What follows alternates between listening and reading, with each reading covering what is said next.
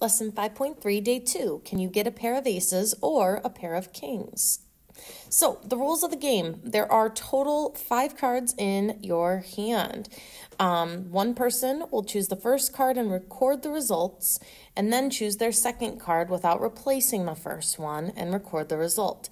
And so the player is going to win if they got a pair of aces or if they got a pair of kings. So, um, basically, you can play this game at home if you'd like. Um, I will go ahead and model one outcome when I did play. So the first card I got was an ace, the second one was a king, and so that is not a winner because it was not a pair. The second time was an ace and then another ace, and so that one was a win. The next time was a king and then an ace, and so that was not a win. But then the next time was a king and the other king, which did end up being a win.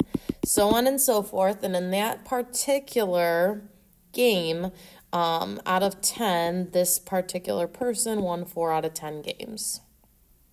Okay, so then when we repeated this and did this with a very small class, um, we got 33 out of 80 as the number of wins out of the whole. Okay, so that ended up being about 41% of the time, 41.25% of the time.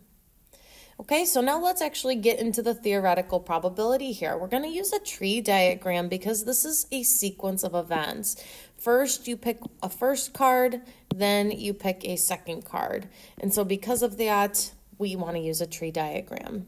So when you're holding five cards in your hand, there are two aces out of five and three kings out of five is what we were told at the start. Okay, so what's the probability that the first card that you pick is an ace? I'm sorry, second card. So, okay.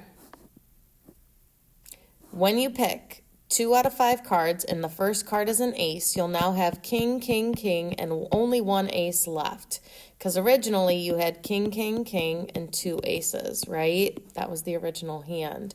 So now the probability the second card of an, is an ace is one fourth, and the probability that the second card is a king would be three fourths here. Okay. Then what's the probability if I choose the first card as a king? That means that I'll have two kings and two aces left.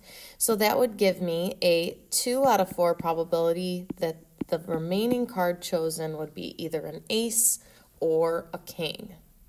Okay? So now this final information here is going to be what's the probability that the first is an ace and my second is an ace. So my first card will be an ace two fifths of the time, my second card one fourth of the time. So I'm going to do two fifths times one fourth, which gives me two out of 20. And I'm going to leave it like that. Okay. Then what's the probability that my first card is an ace, but my second card is a king?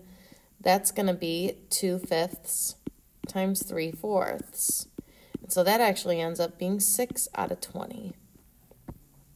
What's the probability my first card is a king and my second card is an ace? Would be actually the same uh, 3 fifths times 2 fourths, which would also be 6 out of 20. And then this one also ends up being 6 out of 20 as well. Okay. All right, so then what is the probability of winning the game? So the game is defined to be a winner if you get ace and ace or king and king. Those are the winning hands.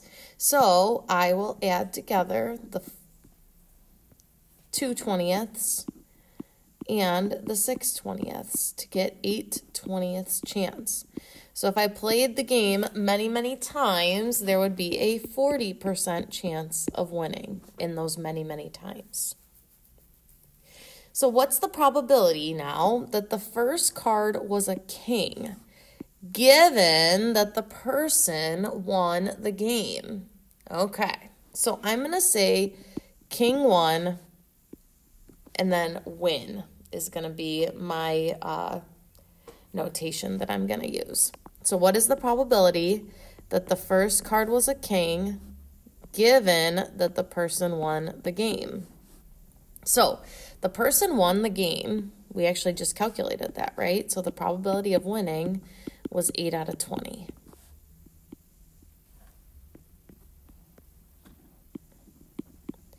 And then what's the probability that the first card was a king was 3 fifths.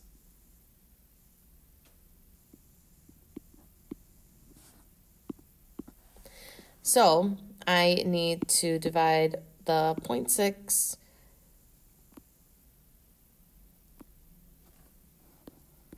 Sorry, hang on. I needed to do the intersection of these. Okay.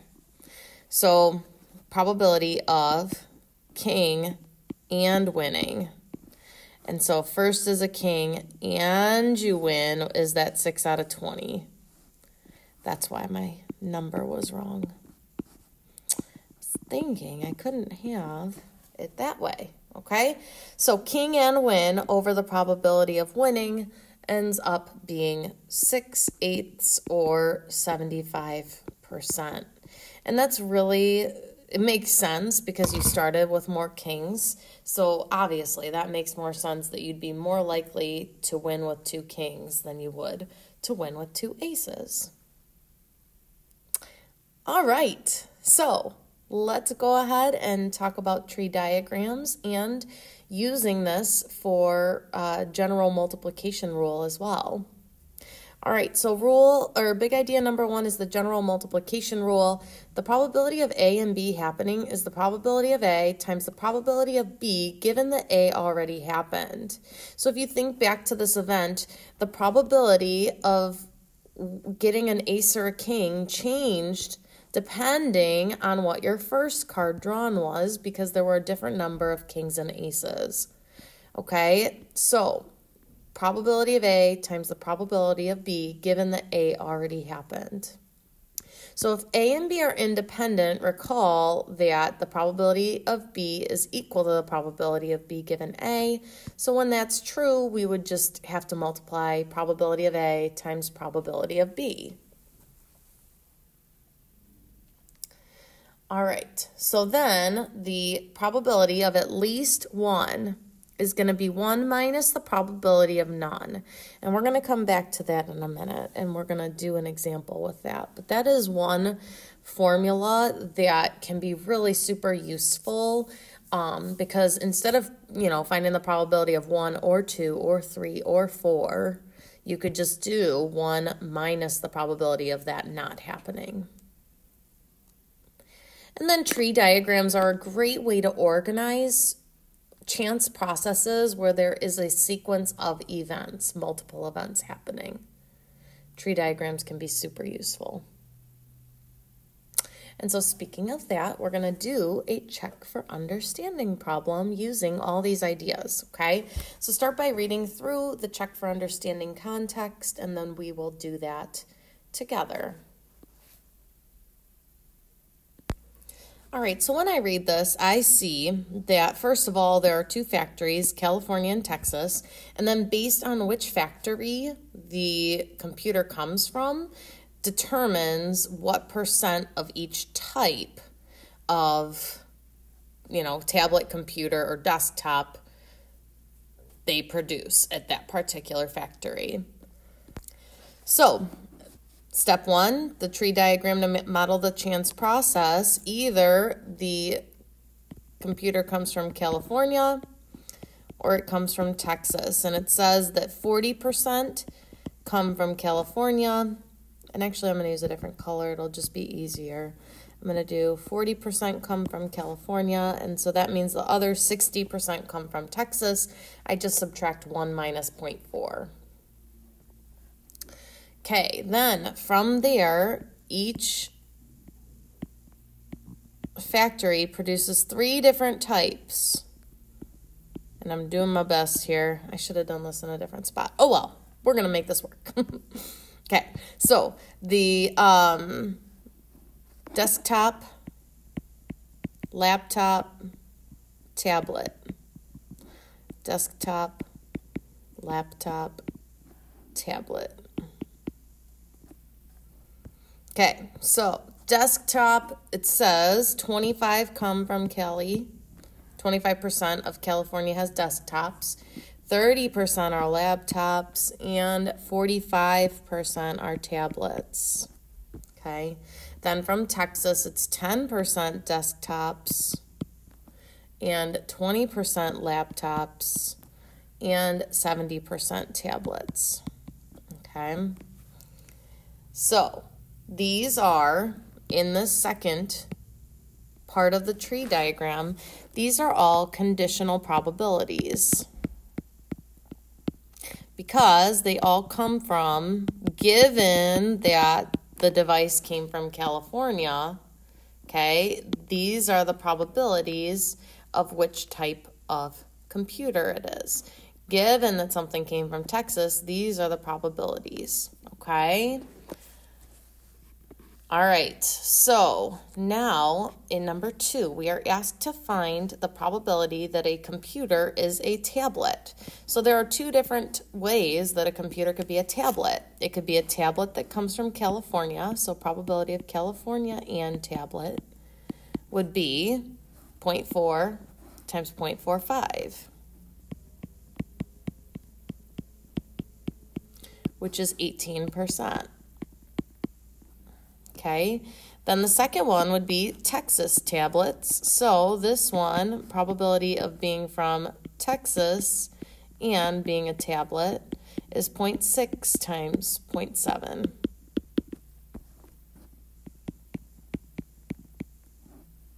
Okay, so it would be the probability of a tablet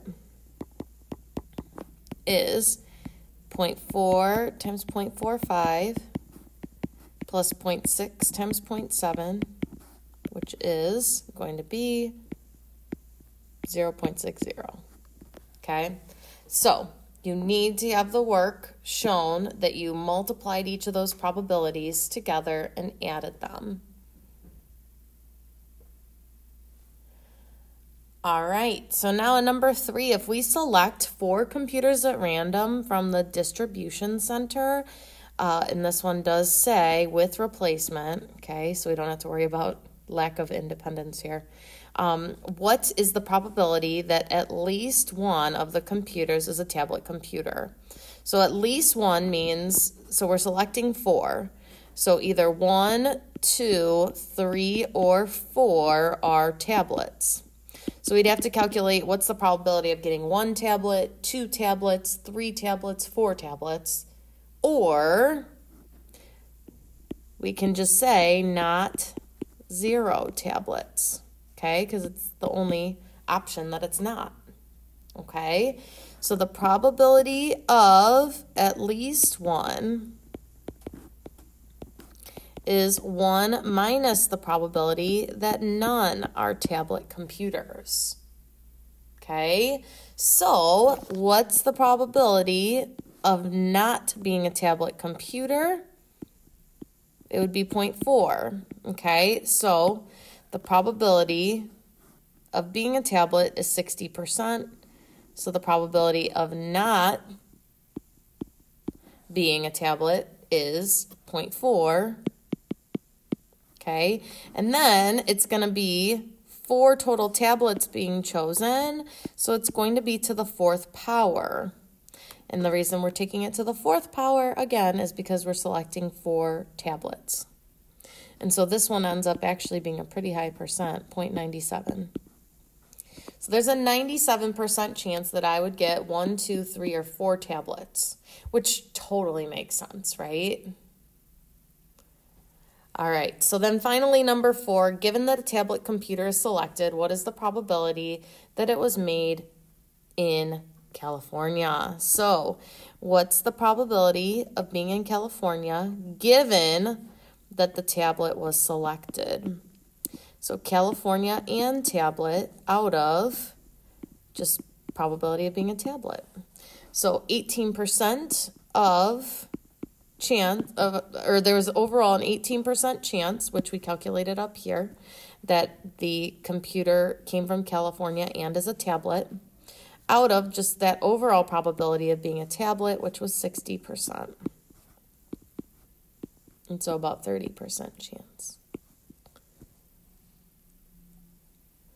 All right. So thanks for participating. Thanks for watching. Um, please let me know if you do need extra help on any of this stuff. I know probability can be a little tricky at times, so please reach out if you're struggling with any of these calculations. Have a wonderful day.